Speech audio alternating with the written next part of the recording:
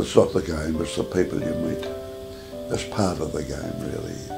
That's what attracted me most to rugby union, was the camaraderie and the fact that you just love to get on the field. I started playing rugby in 1937 at Parramatta.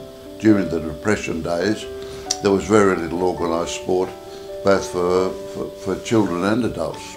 I had never seen rugby union played until Bill Sarati told me I was big and ugly enough to play rugby and he took me over to Cumberland Oval on that Tuesday, next Tuesday night and uh, that started my career with rugby.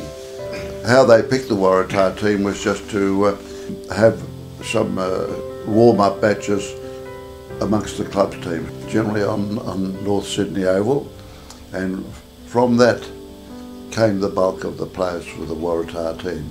We had a ton of talent, raw talent. Trevor Allan, uh, Charlie Eastie, Col Windon, Arthur Buchan, Nick Shehadie. Then at 32, I, uh, I retired gracefully. they're wonderful souvenirs. They're, uh, they're the only things I have to show for as far as rugby gear is concerned. My name is Eric Tweedale. I'm 96 years of age. I'm the oldest uh, surviving Waratah of Wallaby. I played representative football from 1946 to 1950. The Waratah number officially is 794.